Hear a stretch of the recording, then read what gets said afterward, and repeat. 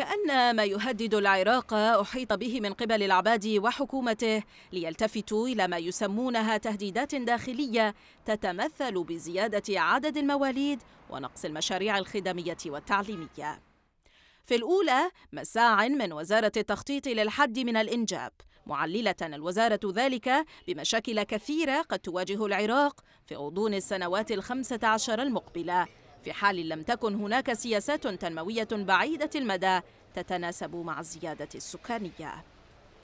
وفي تصرف عجيب يعكس اضطراب وزارة التخطيط الحالية وعجزها عن ابتكار حلول أخرى تضمن حرية المجتمع واستمرار حياته دون قيد أو شرط شكلت الوزارة ما سمته المجلس الأعلى للزيادات السكانية لمناقشة موضوع تحديد الإنجاب. سيفرضون على رب الأسرة في المرحلة المقبلة لا تنجب هذا العام لا داعي لمزيد من المواليد. توقفوا عن الإنجاب مساهمة منكم في حل مشاكل الحكومة التي تقف لا حيلة لها أمام عراق تسببت بأكثر مشاكله. ويشير علماء اجتماع أن الزيادة السكانية تقتضي توفير مشاريع خدمية وتعليمية. ما يثبت أن الحكومة تسعى بطلبها خفض الإنجاب أو تحديده لتتنصل من واجباتها بتأمين المشاريع الخدمية والتعليمية وإلقاء المشكلة أمام العراقيين ليشعر الشارع أنه سبب ما يعيش من مشاكل وصعوبات معيشية.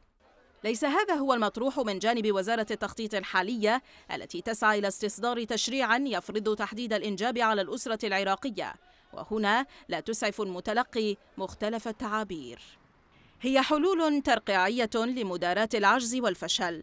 في وقت تشير إحصائيات وزارة التخطيط أن نسبة من طفل إلى 15 عاما تبلغ حوالي 38% من مجموع سكان العراق.